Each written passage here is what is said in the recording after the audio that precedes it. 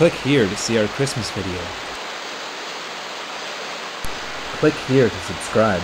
We've got lots of new videos coming in the new year.